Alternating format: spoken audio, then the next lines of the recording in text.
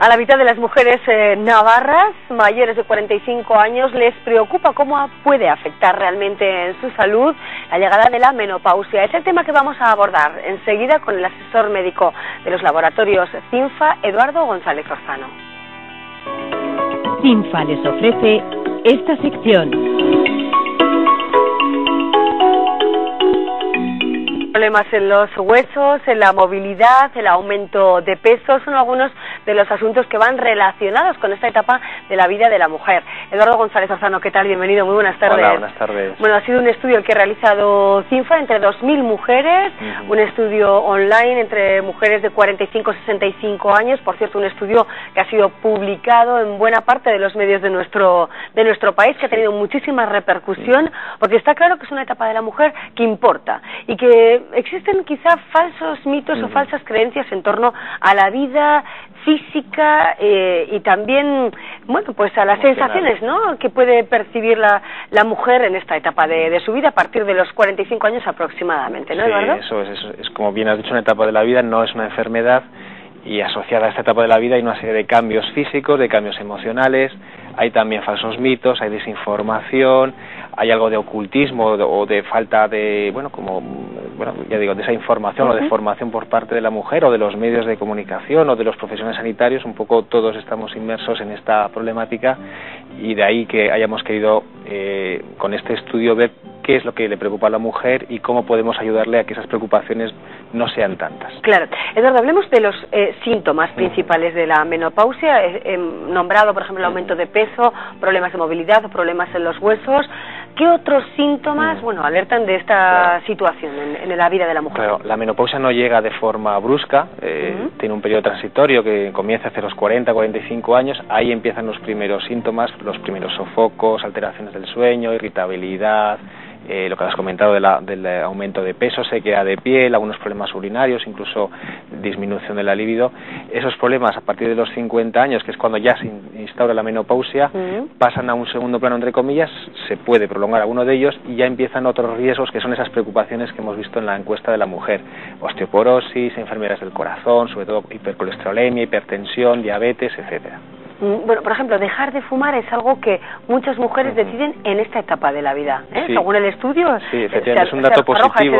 Claro, hemos visto que las mujeres o dejaban de, eh, fumar o fumaban menos. Por lo tanto, eh, hay una concienciación de que hay ciertos hábitos, como el fumar, que son perjudiciales, no solamente porque pueden adelantar la, aparición de la menopausia, sino porque pueden entorpecer o agravar algunos de los síntomas típicos de la menopausia, como los sofocos, y por supuesto, tiene un efecto perjudicial sobre nuestros nuestro corazón, nuestro aparato respiratorio y por lo tanto fumar eh, tiene que estar eh, prohibido, digamos. Claro.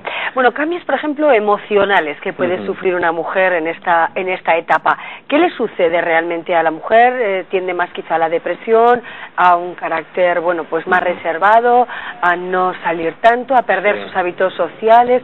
¿Cuáles suelen ser mm, esas sensaciones, ¿no? Que produce? Sí, efectivamente, los que has comentado, es, la mujer está más débil emocionalmente. También hay que tener en cuenta que en esta eh, etapa de la vida, pues surgen otras complicaciones o otras situaciones como bueno, los hijos se van de casa, se van a estudiar fuera o, o se independizan o, o, la, o bueno, el cuidado de los padres o la muerte de algunos de ellos que aparte pueden, digamos, no poner las cosas tan fáciles.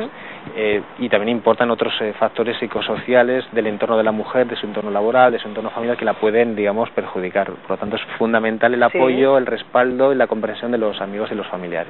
Hablemos también del ejercicio, siempre importante a lo largo de, la vida, pero quizá en esta etapa de la vida más si cabe, ¿no? ¿Qué se recomendaría? ¿Qué tipo de actividad física se puede llevar a cabo? ¿Hay que incrementar, por ejemplo, la práctica deportiva? ¿Qué se recomienda? Ejercicio físico adecuado a, las, a la edad y a las características de cada persona, eh, con caminar entre 30 minutos y una hora al día, o andar en bicicleta, o nadar, o aeróbic, o llevar una vida activa. Eh, no hace falta, digamos, ejercicio físico extenuante ni hacer digamos, malabarismos con el deporte, simplemente eh, algo activo, eh, ya digo, caminar o coger el autobús, pararnos unas paradas antes o, ir a casa o subir a casa a nuestro piso por las escaleras, bueno, actividades normales, que sea una vida activa.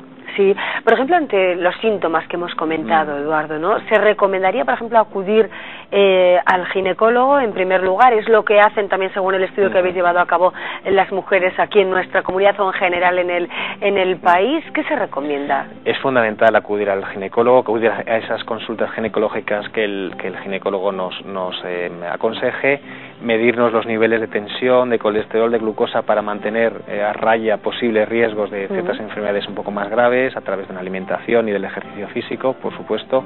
Y el ginecólogo ha sido el profesional sanitario más eh, consultado por las, por las mujeres, es lógico.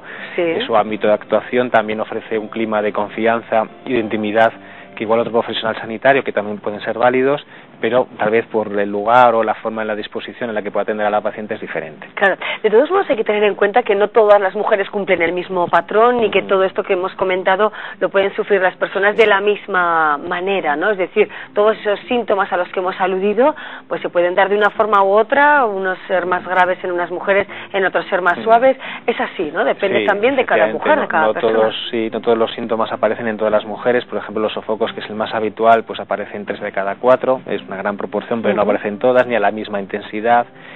Por eso es fundamental esos hábitos eh, saludables que se lleven a cabo, esa concienciación, fomentar la autoestima, el tener eh, o el desarrollar aficiones, actividades que antes la mujer o por lo que sea lo ha abandonado o no ha podido hacerlas y ahora las puede realizar y, y de hecho hay que tener en cuenta que, la, que después de la menopausia quedan 30 o 40 años todavía de, de, vida y, hay que hacer cosas que, que nos eh, garanticen ese tiempo, ese bienestar y esa mejora de calidad de vida.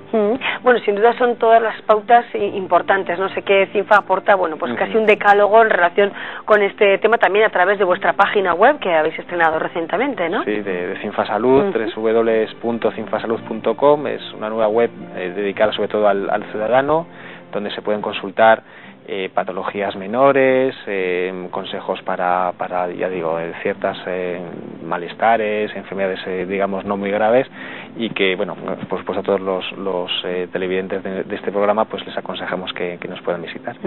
Perfecto, pues nos quedamos con esa dirección, con esa nueva página web de los laboratorios eh, CINFA y con estas recomendaciones o, bueno, análisis también, ¿no?, de la situación de la menopausia en la, las mujeres de nuestra comunidad. Eduardo González, muchísimas gracias por acompañarnos. Gracias. Enhorabuena también por el estudio tan detallado con tantos datos y recomendaciones y con su presencia además en tantos medios, ¿no? Muchísimas gracias. Nada, gracias a vosotros ocasión. Por la gracias.